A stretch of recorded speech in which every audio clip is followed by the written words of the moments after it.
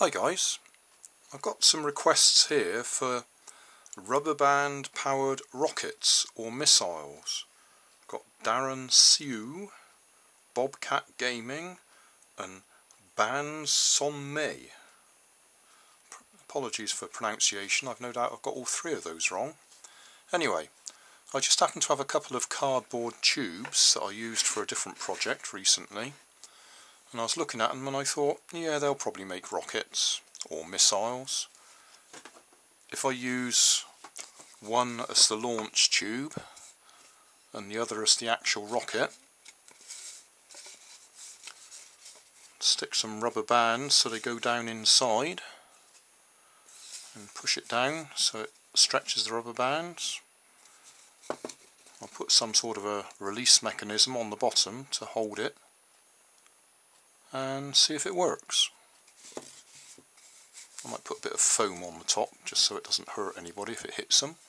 On the bigger tube I'll cut little slots across the top to hold the rubber bands in place and on the other tube I'll cut a little V-shaped notch in the bottom to hook the rubber band onto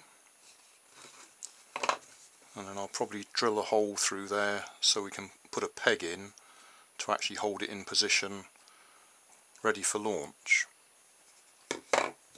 So slot in the top first.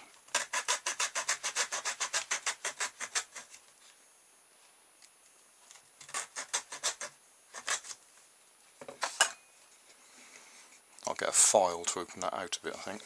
Well, might not need to. They go in there anyway. Yeah, they'll go in. So we'll need to join a load of these rubber bands together because they're only small. And then on this one I was going to file a slot.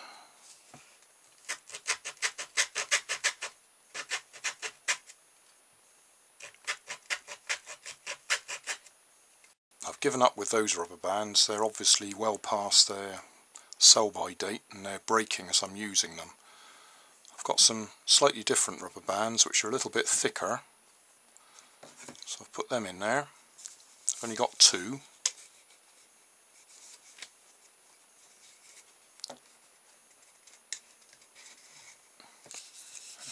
Try and get it so you can see what I'm doing. Just push them down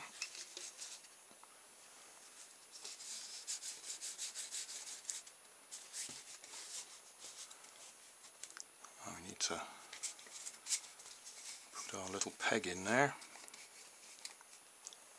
I'll use this for now.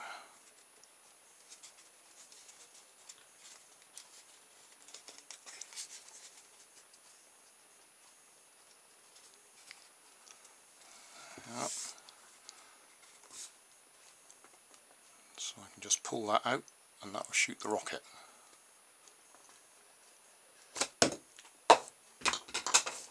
That hits the ceiling.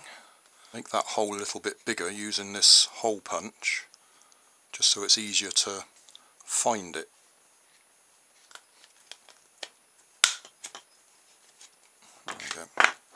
Gives me a bit more space to move around.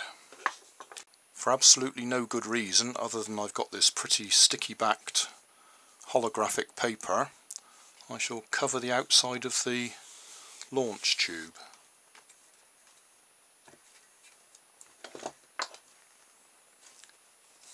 Glued that on the end. I'll trim it now. Soft point to our rocket so we don't hurt anybody with it. I'll just put the bits together close up so you can see what I'm doing. Then I'll go and put it on the table and launch it. So that's our two holes to lock it in place when it's ready to launch. And that's my peg on a bit of string.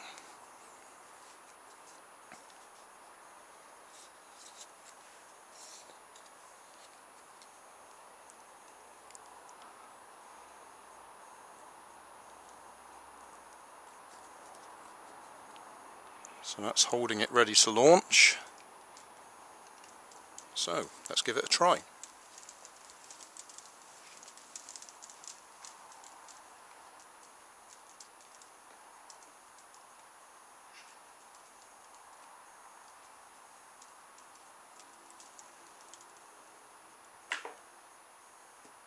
This time I've doubled the number of rubber bands, so see if we can get a bit more height.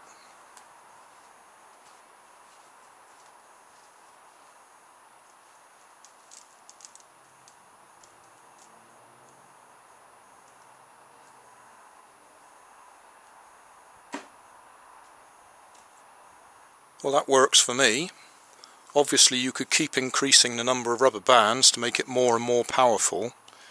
You probably need a slightly bigger tube though because the rubber bands start to get in the way of the missile if there's not enough clearance around the edges. But uh, that works. We could just do hand launch like this. But that'll do. If you want to make one yourself, feel free, and I would suggest a slightly larger tube and more rubber bands so you've got more power.